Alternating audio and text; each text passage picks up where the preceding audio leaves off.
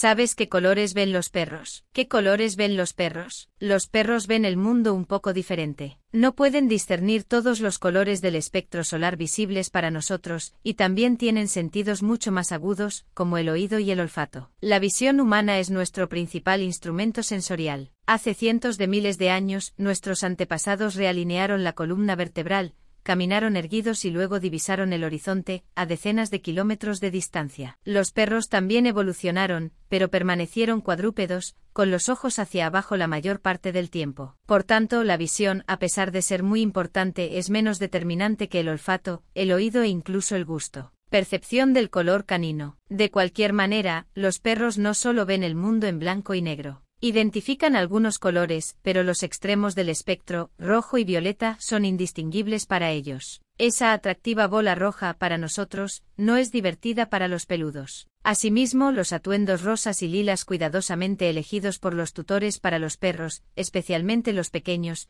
se ven solo como una monótona variación de tonos de gris. Que haya luz. El sol suministra continuamente luz y calor a todo el sistema solar. Aquí en la Tierra es difícil concebir la vida sin la presencia de estos dos componentes. La percepción de la luz es casi universal en el ámbito de la vida. Las plantas, base de la alimentación, utilizan la luz a través de la fotosíntesis para desarrollarse. Los animales usan la luz para identificar presas y evadir a los depredadores. Algunos estudiosos afirman que junto con el aumento del volumen craneal y la liberación de las manos en el proceso de locomoción, fue el desarrollo de la visión estereoscópica lo que permitió que el Homo sapiens evolucionara tanto. El ojo de los animales se ha convertido en un instrumento importante para la vida de pareja. La forma la mantiene la esclerótica, una capa exterior dura cuya parte frontal es la córnea. La segunda capa es la coroides, formada por dos partes. Cuerpo ciliar es una región muscular conectada a la lente. El cuerpo ciliar se contrae o se relaja, controlando el tamaño del cristalino cuando es necesario ajustar el foco.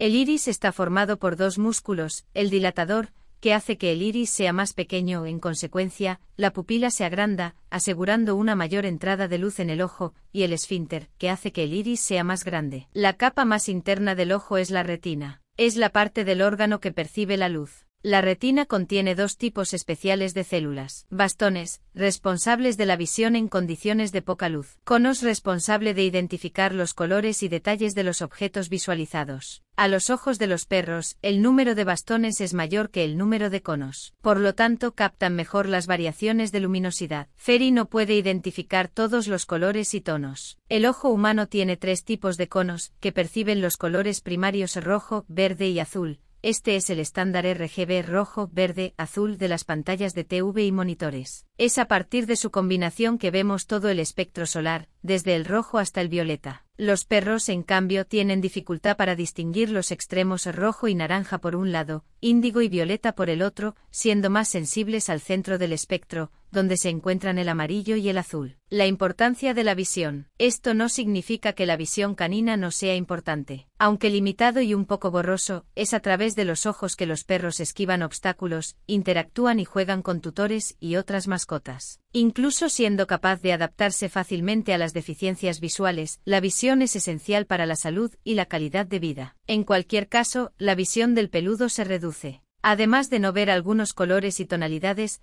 los perros solo pueden fijar objetos y seres con claridad a distancias de hasta 6 metros. A partir de ahí todo se petrifica, perdiendo perspectiva. En comparación con la visión humana, que llega hasta los 22 metros, se trata de una reducción considerable. Además, utilizamos otros sentidos para entender la escena, incluso viendo el horizonte cada vez menos definido, por algunas comparaciones, sabemos que las montañas no tocan las nubes, por ejemplo. Estas comparaciones son automáticas, el ojo capta las imágenes y el cerebro las procesa, uniendo la información almacenada en la corteza cerebral, la región encargada de la memoria. Entonces podemos simular la perspectiva. Lo mismo sucede en un cuadro que tiene solo dos dimensiones, alto y ancho, pero simulamos la profundidad, la tercera dimensión, y podemos ver más allá, aunque el cuadro esté apoyado contra la pared. Pero si los ojos de los perros están dotados de menos conos, están equipados con muchos bastones. La suposición de que los perros ven en la oscuridad no está lejos de la realidad. Debido a las muchas varillas, los perros pueden discernir diversas sombras y formas en condiciones de poca luz. Vale la pena recordar que nuestros peludos, antes de la domesticación,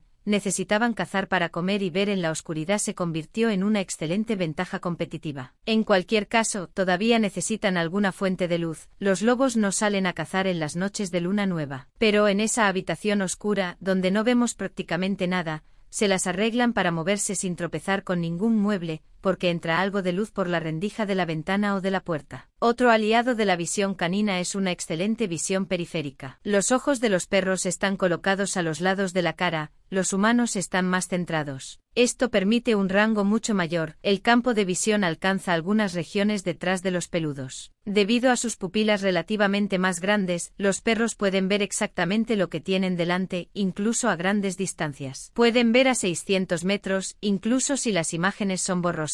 De todos modos, existen diferencias en la visión canina según las razas. Los perros pastores y boyeros tienen un campo de visión mucho más amplio que un pago o un bulldog, debido a los ojos saltones presentes en las razas braquicefálicas, que tienen el hocico aplanado. Si lo comparamos con la visión de un adulto con ojos sanos, se puede decir que los perros son miopes. Desde cierta distancia, todo se ve borroso, no tendrían ningún interés en ver una película en el cine, por ejemplo. Esto, sin embargo, no es motivo de preocupación. Incluso al discernir menos colores y ver a distancias más cortas, los perros pueden compensar con un sentido del olfato y del oído realmente poderoso. Considerando todo el conjunto sensorial, la visión canina no es ni mejor ni peor que la visión humana, simplemente es diferente. Cada especie ha adaptado los sentidos de acuerdo a los retos que le plantea la naturaleza. Es posible que en los próximos milenios, si se preserva la civilización y se mantiene la convivencia, los ojos de los perros terminarán transformándose y alcanzando una visión cercana a la humana en cuanto a distancias, pero no colores.